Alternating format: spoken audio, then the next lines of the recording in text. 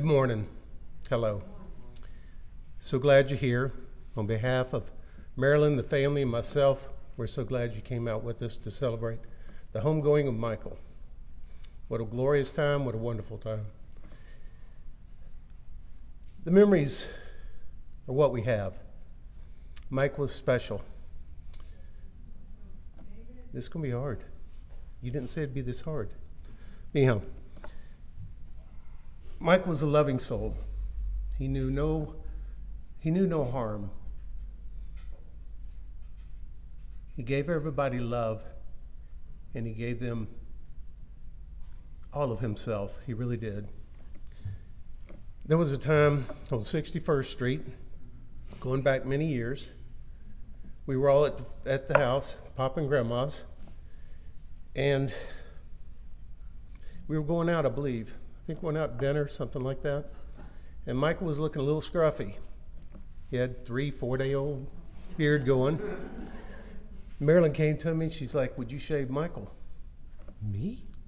I can barely shave myself. So, first thought was electric razor. Ideal. Let me go find electric razor. There is no electric razor in that house. Then someone came to me and says, Well, Papa's got straight edge razors. Oh, no. No way. Never even shaved myself with one of those. So then someone came up with a Bic two bladed plastic, 500 for a penny. And I said, all right, I'll try it. So anyhow, got him all lathered up. Michael was very cooperative, stood there. I said, can you make your, your lip stick out so I can get up underneath your lip and all? He did. Everything I asked, he did. And the amazing part was, didn't cut him once, didn't nick him, got through, and I'm going, oh, what a relief. Came out, and of course, Marilyn's like, oh, he looks beautiful, great, oh, good job. So, anyhow, that was a bond. Didn't know, I had no clue this was a bond that was being built. But um, Michael, at that point in time, latched on to me. And it was a situation. From then on, he'd go to mom, Eddie Fountain shaved me. Wasn't just Eddie. No, it's got to be Eddie Fountain shaved me. And everybody, I think, in Savannah pretty much knew Eddie Fountain shaved me because he'd do like this Eddie Fountain shaved me. Yeah. So that was great. Precious. Precious memories. Well, it went on for quite a few years. And me and Michael had that same bond. It was great. Walk in the room, he just light up. I didn't deserve that. I didn't. But then Kathy came in my life. You know, they say from the penthouse to the bottom floor. I'll do it that way. So anyhow, isn't very far. Well, I found that bottom floor that day when Kathy and I, well, we came to Savannah and she met Michael. I love you, Kathy. Well, I do too. You know? So yeah. But it was nothing but Kathy from then on. I fell secondary. And that was okay. That was okay. It was all good. But uh, him and Kathy had a special relationship. She would sit down and she'd bring notebooks and bring him magazines and, and things to draw in, stuff like that. And uh, they would sit down and do all these different things and stuff like that. But Michael loved that. And then Kathy taught him how to make a heart with his hands, how to do this and take this and do this. Hmm. Tough. In the hospital, when he couldn't do this, because this arm didn't work, he did this. He still loved people.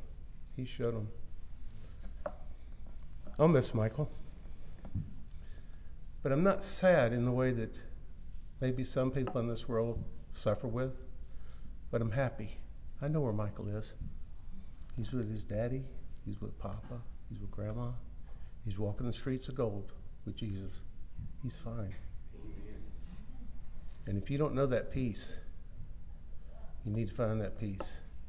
And there's people here can help you know that peace before you leave here. But we love you, Michael. Miss you.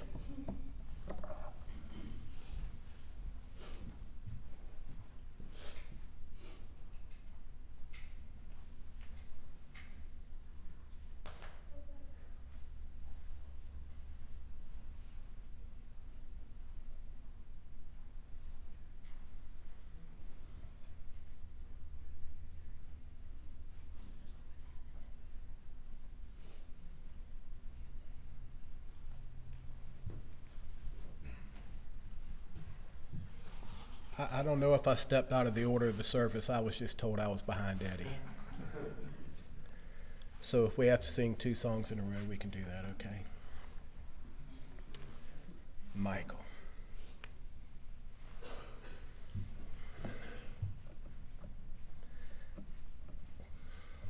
One second, I'll get there. It is a great honor. I will. It's got to clear up first. it is a great honor to be asked to, to speak to y'all today. And so I want to bring what I saw in Michael's life. And this is the best I could come up with. Blessed are the meek, for they shall inherit the earth. Michael was definitely a meek soul. He never really owned anything, never really had a life outside of what everybody else had going on. He never made plans to go anywhere. Michael never had to worry about paying a bill or cooking a meal or who was going to take care of him. Michael could wake up every morning and just go live his life. He didn't fix his own breakfast, lunch, or dinner he could turn on every light in the house and not worry about an electric bill. As a matter of fact, he never had to worry about a roof over his head. I'm not sure if Michael had a concept of ownership. He surely never understood debt or having to earn an income. He lived his life on the love and care of others. He was fed and cared for through the love of his family. He was sheltered and clothed and entertained solely by their hands and care. Michael never had a choice in his meekness. It was something that he was blessed with at an early age. He lived it well, though. In fact, Michael was probably the only one of us who could have lived it as well as he did. He certainly lived it better than I ever could have. Michael was a meek soul. For they shall inherit the earth. Michael did inherit the earth. I never saw him walk into a place where he wasn't totally at ease, like he had been there many times before, or like he owned the place. On many occasions, Michael did own the room he was in. Within minutes of entering, he would be engaging strangers and making them laugh or smile. And Michael was an absolute genius at finding a pretty lady for a dance. No, Michael never had a problem with looking like he was exactly where he was supposed to be. He looked like he could have owned every room without actually ever owning anything. Michael inherited the earth. Blessed are the pure in heart, for they will see God. I am sure that we will hear many times today how pure Michael's heart was. One of his favorite things to talk about was those who had gone on before him and what they might be doing in heaven. You see, he was very simple in the way he talked about it, but Michael was always looking ahead to that time when he would see them again. He never questioned his life ending in heaven. He just always knew it as fact. Only the purest of heart can see the end and never wonder how to get there, but just know they will get there. And yes, Michael has already seen God. Within second, within seconds, Michael was face to face with his creator. He has already shared that big toothy smile with Jesus, and I'm sure Jesus has looked back at him with a hearty laugh and a warm hug and said, Welcome home. There are many here who have been waiting for you. Come on, Michael, let's go have a reunion. Now Michael gets to sit with Don, Papa, Grandma, and Elvis and tell them in his simple way about what we're doing on earth. So, where does that leave us? What do we learn from Michael's life? First of all, that leaves us very blessed to have been part of his life. Secondly, we can learn from others and how they cared for him. Blessed are the merciful, for they will be shown mercy.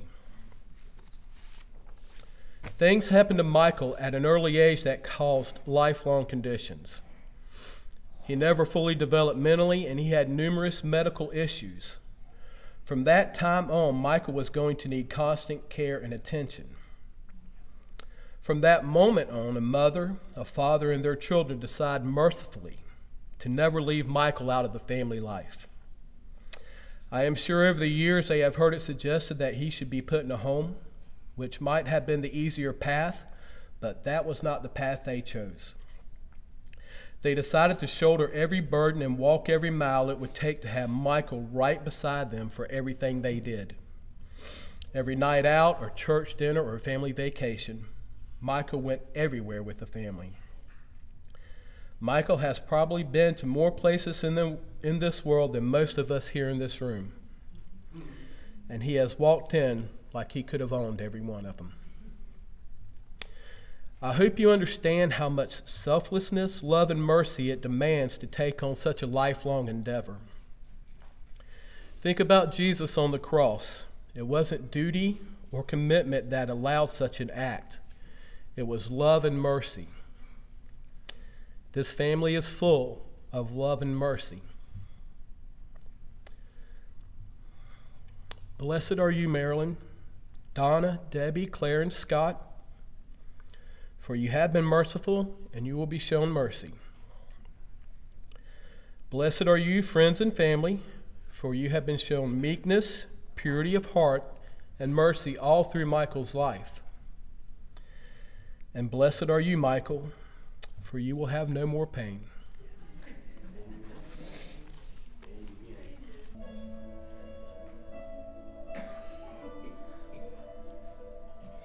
I had only known the last time would be the last time, I would have put off all the things I had to do.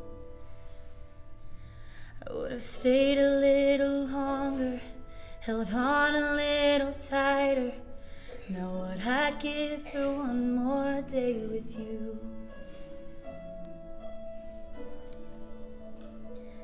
Cause there's a wound here in my heart where something's missing.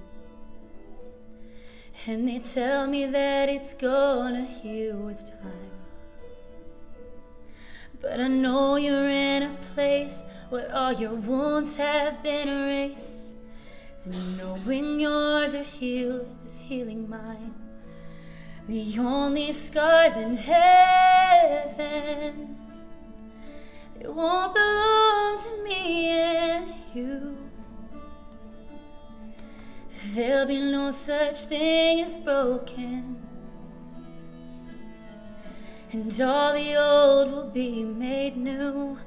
And the thought that makes me smile now even as the tears fall down.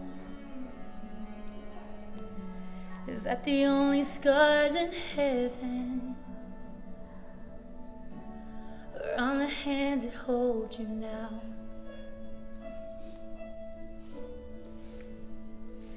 I know the road you walked was anything but easy. You picked up your share of scars along the way. Oh, but now you're standing in the sun. You fought your fights and your races run. The pain is all a million miles away. There's no these scars in heaven. They won't belong to me and you. There'll be no such thing as broken. And all the old will be made new. And the thought that makes me smile now. Even as the tears fall down. Is that the only scars in heaven? Around the hands that hold you now. Hallelujah.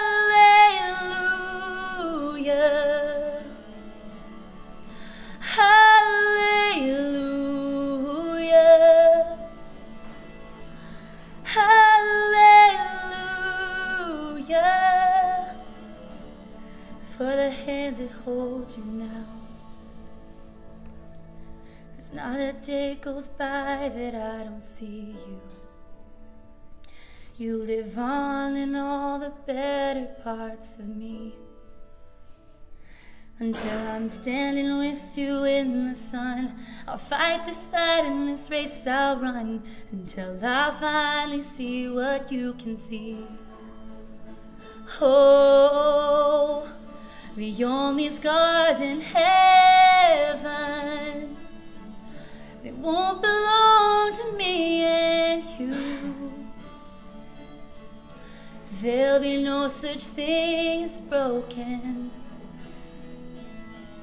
And all the old will be made new. And the thought that makes me smile now. Even as the tears fall down, the only scars in heaven?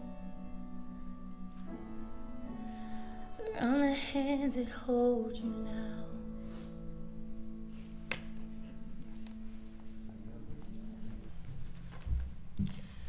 Why'd y'all put me after that tearjerker?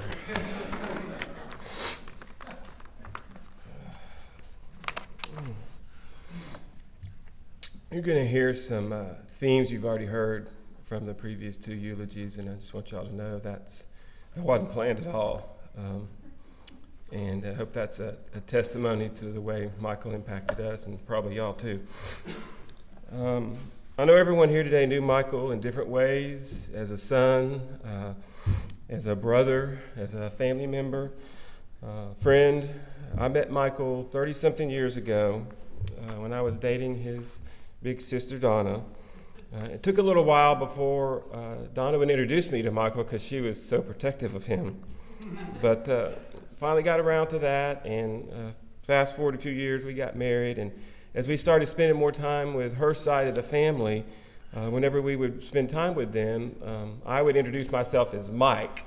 I usually go by Michael outside of this, this group right here, in case y'all didn't know that. But we did that uh, to reduce confusion, and uh, so that's that was uh, something we always did. Um, and you know, now I go by Mike every time I'm around y'all, as I just said. And so my point is that um, every time now, now that Michael's uh, passed on out of this life into a better one, uh, every time I somebody in this room or outside this room calls me Mike, it's going to remind me of all the time spent with him and the family and the good times we had down here. So call me Mike as often as you like. That sounds weird to my kids and my wife, I know, because they don't call me that much, call me it that much outside of this group. But I know Michael influenced everyone in different ways, and that each of us will remember different things about him. Some you've already heard. Um, but I'd like to share what Michael taught me, and more than likely what, what he taught you too. First, Michael taught me hospitality. 1 Peter 4 9 says, Show hospitality to one another without grumbling. The door to Michael's heart was always open to others, whether they were family or strangers, as you've already heard. Far from grumbling, he welcomed one and all into his life. Over the years, when we go to visit Donna's family, Michael would greet us excitedly. Um, Within five minutes of arriving, every time he would say, You off? Meaning, am I going to be off work for the next three or four days? And uh, the reason he asked that excitedly is because he knew I was going to say yes, and he knew that meant he was going to get to spend time uh, with us, which he, he always liked visitors and spending time with visitors, so that brought joy to his heart. But then, after I'd answer yes, he would always hold up his hand and say, Two days? Three days? Four days? And he wanted to know how much time he was going to be getting. And if I didn't answer quick enough, his response would be, Bubble and a half. And then he'd start laughing. And some of y'all may not get that, but he's talking about the bubble in a liquid level. And he was saying, Are you, are you off? Bubble and a half, you're off, meaning, you know, that I'm like, uh, a little crazy or I got a screw loose or something like that, or meaning like, like that's not right, you know, something like that. But it was just a joking way to, to welcome me into his home, so I remember that. Uh, but he wasn't just hospitable to family. Uh, this is going to sound familiar too. He never met a stranger. In a store, he would randomly just tell someone hi and wave to them that he'd never seen before. Uh, and if you were willing, Michael would boldly engage with you, if, as y'all have already heard. Uh, you've seen the picture in the slideshow. I think there's a couple pictures in the slideshow with Michael dancing with a girl, and uh, he got up. That's a total stranger. He got up and started dancing with her in a room full of 100 people, and it was great. So he never met a stranger either. His hospitality was open to everyone. And I imagine many of you here today are here to pay your respects to Michael's family because of the hospitality that he showed to you, the friendliness that he showed to you during his life. And I think if Michael were looking down on us right now from heaven, he'd have a big smile on his face and a big thumbs up. Second, Michael taught me about honor. In John 8:49, Jesus said, "I honor my Father." Like Jesus, Michael also honored his father. One of my oldest memories of Michael is him walking Donna down the aisle at our wedding. Michael knew how important this was, and he stepped up and stood in for his daddy. And he did it with great pride and joy. This memory also means a lot to me because, unlike a lot of y'all, I never got to meet my wife's father. For me, Michael was the closest thing that I would see of Don Whipple, outwardly and inwardly, I'm told. He would talk about his daddy frequently uh, which kept the memory alive, Don, not only in his heart, but in all of ours. Finally, Michael taught me about love. 1 Timothy 1:5 talks about love that comes from a pure heart, a good conscience, and a sincere faith. That was the kind of love that Michael showed to everyone. His love knew no bounds, it was limitless. His love came from a pure heart. He didn't have to be prompted to express his love.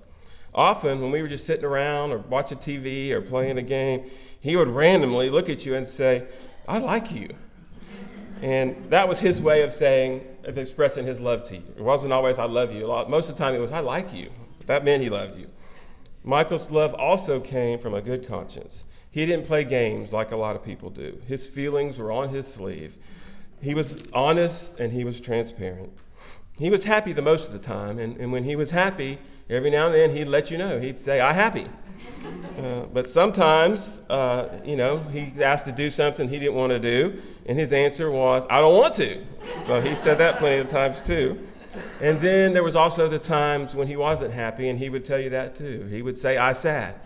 And that was often followed by hugging and crying. And Michael's love also came from a sincere faith. Michael had the kind of faith that we all need to have a childlike faith. From time to time, he would list all the family and friends he loved that were in heaven Grandma, Papa, Preacher, Rocky, Elvis, Dr. Greer's, etc. But mostly, he would say, Daddy in heaven with Jesus, no more pain.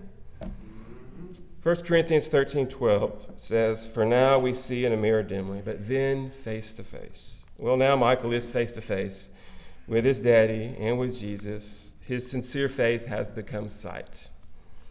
Michael, thank you for teaching me and, and so many others genuine hospitality, honor, and love. I will always like you. I'm happy, and I know you are as well. No more pain. See you soon, buddy. I was reading over the obituary, and, and I noticed that um, Michael graduated, which I didn't know, but he graduated from uh, Fred Douglass, uh, the special education uh, special education program, and um, he also pro, uh, well, he was a track star. Let's just say it that way. In the Special Olympics, and I just think about that because I know what they mean.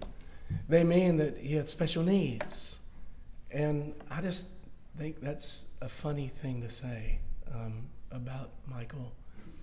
Uh, special gift, maybe special gift, that might work. Um, talking about him walking Donna down the aisle, and I remember the night before I got married uh, to Kathy Eddie. Her name's Kathy. That's Kathy, and I've got a story about that too. But uh, I remember that night. I had nothing to do. It's so funny. You get everything ready, you have nothing to do, and uh, she was in another town getting ready, and so I was there with a VHS. You remember? Anybody remember those? And and and what? The only movie I had was Forrest Gump. And uh, so I watched Forrest Gump, and and I'd never seen it before. I'd heard about it, but I'd never seen it before. And when I watched it, I just kept thinking, I want to be more like him. You know, I, I don't I don't think the world needs fewer people like that. I think people need, need more people like that. So I ask, what would this world be like if we had more of Michael? More people that had his heart um, we, he and I had a rocky relationship, to be very honest with you. Uh, and the, here's the reason. Like Eddie, uh, I had a wife, and her name was Kathy. And now I don't know whether it's because she's gorgeous or her name's Kathy. Maybe it's both. But if she was in the room and I was in the room and Michael was in the room and Kathy and I left the room, he had one thing to say Bye, Kathy. And it hurt my feelings. It hurt my feelings. Um, I so loved him. And to be able to stand here on this, his homegoing, um, is such an amazing thing. To hear what Eddie shared is what I wanted to share. Um, that if you need that peace that Michael has now, he's healed, he's whole. And if you want to know that peace, come and see me or Michael, I'm sure there are others, or Eddie, um, Greg, whoever it might be, and we can share with you how you can have that kind of peace in Jesus Christ. He is whole, He is home. We, we, what we should be feeling is jealousy a little bit because of what He's seeing. And, um, you know, there's an old play uh, called Our Town. I don't know if you remember the play. It doesn't have any props in it, just there. And, and one of the things that happens is one of the characters uh, dies and gets to go back and, and see uh, their life. And, and the, the um, suggestion, or actually the, the directive, is do not choose anything that is extraordinary. Don't, don't choose your birthday to go back on that day. Uh, choose the most simple day possible because that will be enough. It's the simple things that, that you will remember and that you will miss the most. And, and I just think about that. I was talking to the girls earlier. I said, just give me something. I just, I need to know something that from your perspective. And so uh, Madison Alarm was saying, um, you know how people, some people talk with their hands. He talked with his eyebrows. And he was extremely clear about how he felt about things with his eyebrows. And uh, I thought it was funny because they said, um, you know, he could get real judgy, but in a good way. You know, because if you were there and he didn't really like what you were doing, it's like, you know, he would do that. And I, I, that, that, that simple memory just came flooding back uh, about him, and that's how uh, he would do, and just that half heart will stick with me uh, as well. Such sweet memories, and just that uh, I like you uh, is just really amazing. So I want to talk about this, uh, just a few simple things, um, and and share a passage with you that I've never done before in a funeral ever, um, and I've done many, but this one is special. The gifted, the gift kind of special. Um, it, it's just really amazing to think about those little things. Like if you go to Facebook, I was going to try to post this, let, let you see it as I was speaking. Uh, couldn't work, quite work that out, but um, his hands. His hands were amazing. And Donna posted a picture of her holding his hand, and uh, I have gone back to that hand over and over because I don't know if I if I had a picture of Jesus' hand, it'd be like that. Uh, she says it's like his dad's hands, which is is I'm sure true, Marilyn. But um, but I just I, I just keep going back to that picture and looking at it and just going, what a beautiful hand. Thinking about how he used those hands and what he did to just love people, to show hospitality and and to be welcoming and uh, to hold hands. Uh, I think about his mind, not his brain. You know, his brain was the way he went home. You know, it was his brain that, that was the manner in which God called him home, but his mind was the mind of Christ and uh, just how he thought.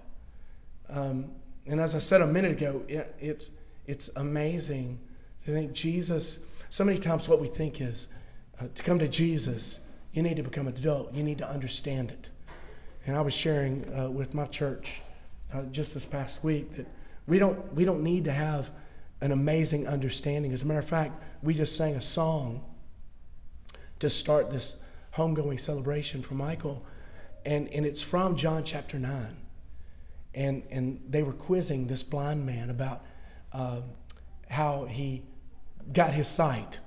And they were trying to say Jesus is a loser and, you know, he needs to be kicked out and we need to ignore him. And, and they were saying, well, who do you say he is? You were blind. You said he healed you. Who do you say he is? And he said, Look, I don't know who he is. Here's what I know I was blind and now I see. That's, that's what he said. And, and I just, that simplicity and beauty of Michael's mind and how he thought, how he could just, you know, bubble in a half. That's just, I've never heard that in my life. I, I just, I just learned something from someone who was so amazing and living 50 years on this earth and could say wonderful, wonderfully simple things like that. His hands, his mind. And this one was going to be original. I didn't know that the three men that spoke before me were going to speak so beautifully about it, but his heart. Oh gosh, that I can have a little bit of Michael's heart in me. That we all can. Think we should be more like that heart. Think uh, the Bible says that you should always think of everyone more highly than yourself. And it's amazing that we never teach our kids to, to, to do that, but they always do. You know, I don't know how many times I've heard, I got shotgun. You know, I'm, I'm, sitting in the front. No, you had it last time. Well, I get it this time too, because you got to eat the last piece of the pie. So, and it's always, you know, but but what I just noticed and noticed in Michael's heart. And it's not changed today because he is not dead. He is just in glory. And we don't grieve the same way. But that heart, that heart, we're going to miss that heart. And just what he brought, those, those simple little things, those hands, that beautiful, wonderful mind, those eyebrows. but mostly, and most importantly, that heart. I thank God as I close that He's healed. You know, all of the things that that that were seemingly holding him back, which in many ways was thrusting him forward, but but those those things that held him back, as Craig shared that, you know, just he wasn't developed mentally. Um, those things that held him back are now gone. They're not there anymore. He's whole. He's healed. Not just from a tumor, but from everything. He's running, he's laughing, He's singing amazingly. He's still saying bubble and a half, I'm sure. But all those things he's doing. And so I'm sharing a scripture as I close with prayer. I want to share a scripture with you. It's a short one, but it's one I want us all to know because we all have them. It may not be a mental uh, incapacitation, so to speak. I should air quote that with Michael, but may not be that, but maybe it's a physical one for you. It's not going to be there forever. And if you know Jesus, you are going to have incredible health, both mentally and physically. This is what it says. Therefore, we do not lose heart. Though outwardly we are wasting away, yet inwardly we are being renewed day by day. For our light and momentary troubles are achieving for us an eternal glory that far outweighs them all. And I just know in these last days for Marilyn, for Donna, the entire family, I know that there have been so many struggles uh, and just watching that wasting process. It's not fun. And it doesn't look, I went through it with my brother, it doesn't look like what the Bible promises us. That the outward is wasting away. For every single person in this room, it's wasting away. But in Michael, he was being renewed every one of those wasting days. And now he's healed and he's whole and he's home.